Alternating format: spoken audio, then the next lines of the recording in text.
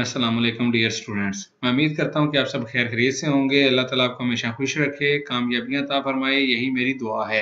आज की मेरी वीडियो इंतहाई अहम वीडियो है। आज की वीडियो के अंदर आपको बताया जाएगा M A M S C part one का जो ट्रेडिशनल एग्ज़ाम है, वो कब होंगे डेट शीट कब आएगी और इसके मतलब जितनी भी इंफॉर्मेशन हैं, वो मैं आपको गाइड करूँगा। काफ़ी स्टूडेंट्स परेशान हैं क्योंकि आजकल एग्ज़ाम और रिज़ल्ट का एक बहुत ही बड़ा मसला बना हुआ है।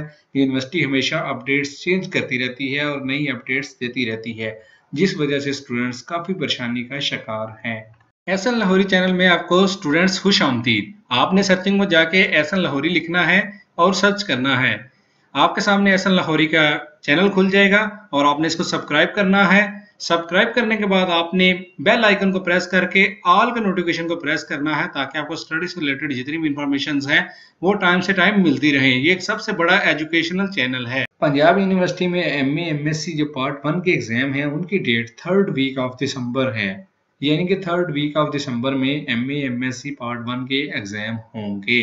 ये बात तो अभी तक कंफर्म है, लेकिन यूनिवर्सिटी अपनी updates day by day change करती जाती है।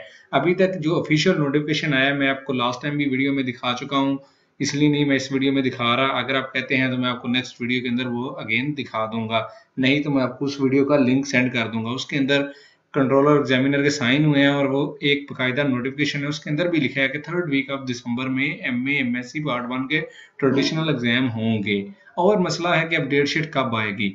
अगर थर्ड वीक ऑफ़ दिसंबर में एग्ज़ाम है तो आपको फ़र्स्ट वीक ऑफ़ दिसंबर में आ जाएगी। यानी कि दो या तीन दिसंबर को आपको रोल नंबर स्लिप आपको मिल जाएगी।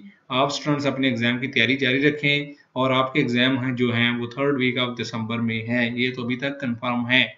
जैसे कोई न्यू अपडेट्स आएगी या कोई मालूम आएगी, मैं इंशाल्लाह आपके साथ शेयर करता रहूँगा। आप हमारे चैनल के साथ इन टच में रहें। देखते रहें सबसे बड़ा एजुकेशनल चैनल एसन लाहौरी। अपना ख्याल रखिएगा। एंड दुआओं में याद रखिएगा। अल्लाह हाफिज़। अल्लाह ने